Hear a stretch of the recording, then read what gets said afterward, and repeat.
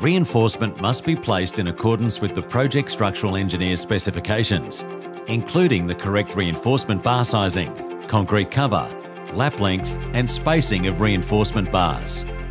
Ensure starter bars are set out in the concrete in the correct location to allow the Rediwall panel to be installed to achieve the appropriate concrete cover to the edge of wall and bar extension to achieve the correct lap length with the vertical bars in the wall.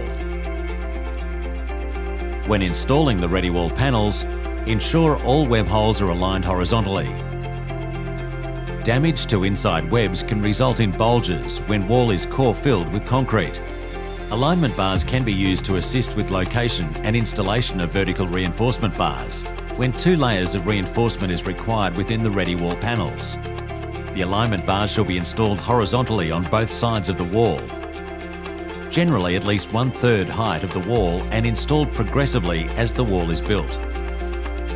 To locate the alignment bars, vertical bar locator strips should be used and fixed to the panels.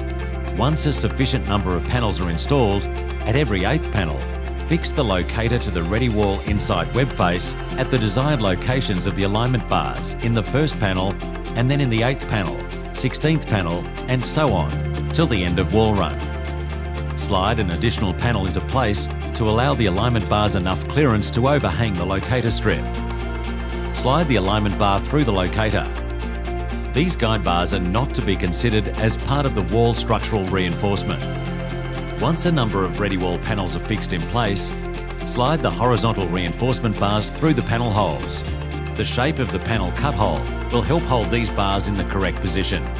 The vertical reinforcement bars are then lowered into the Rediwall panel at the correct spacing and lap with the starter bars at the bottom of the panel.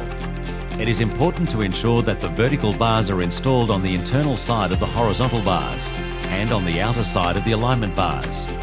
Note, a small 20mm bend at the base of the vertical bar can be used to joggle the bar past the horizontal bars.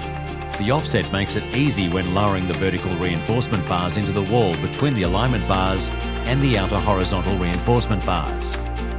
It is important that the reinforcement is installed in a uniform manner and the correct spacing is maintained. When the vertical bars have been placed in position, ensure that the reinforcement bars are positively secured into position. This can be done via ties to the top of each vertical bar to the top horizontal reinforcement as required to ensure bars remain in the correct position during the concrete pour. Alternatively, the top of the vertical bars can also be spaced and tied in the correct position by using the LVL timber or similar.